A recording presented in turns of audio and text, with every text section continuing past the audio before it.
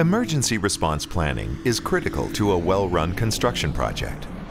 The right plan reduces human suffering.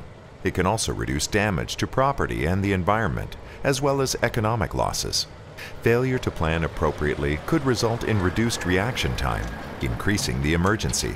The regulation for construction projects requires constructors to establish written emergency procedures for every project before it begins. These must be posted and easy to find and need to be updated as the work, hazards on the site, and number of workers change. The constructor must review the procedures with the Joint Health and Safety Committee or worker representative and must ensure procedures are followed.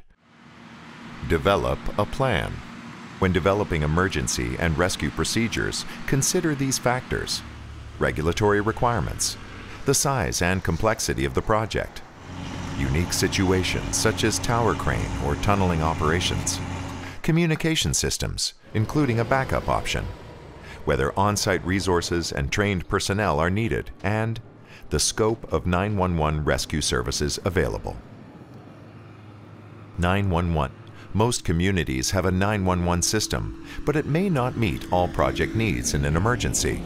Community Fire Services rescue support differs across Ontario in addition, the capacity of the support may depend on other demands of the local fire services team at the time of a project emergency.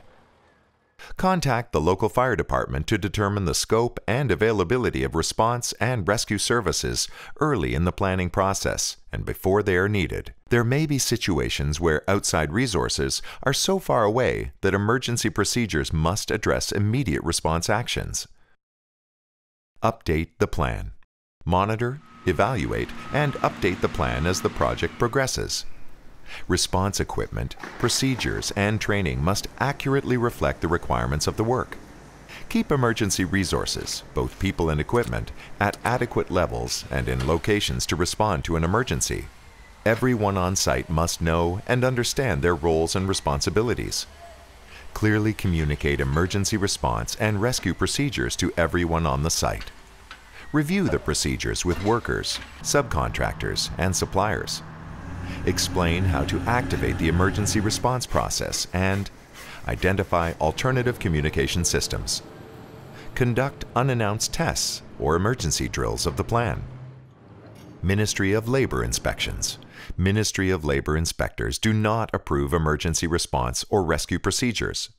Inspectors check for adequate emergency planning for the project, conspicuously posted emergency procedures, access to a system of two-way communication in the event of an emergency, and worker knowledge and understanding of the procedures.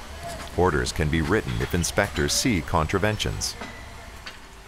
Emergency Response Planning Checklist Emergency response planning should be used to develop project-specific emergency response and rescue procedures, Identify the scope and limitations of external rescue support and develop contingencies if there are gaps.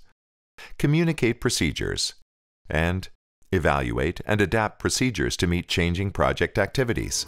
Information about emergency response planning for construction projects is available from the Infrastructure Health and Safety Association, ihsa.ca. For more information on your rights and responsibilities under the Occupational Health and Safety Act, please visit our website, ontario.ca/labor.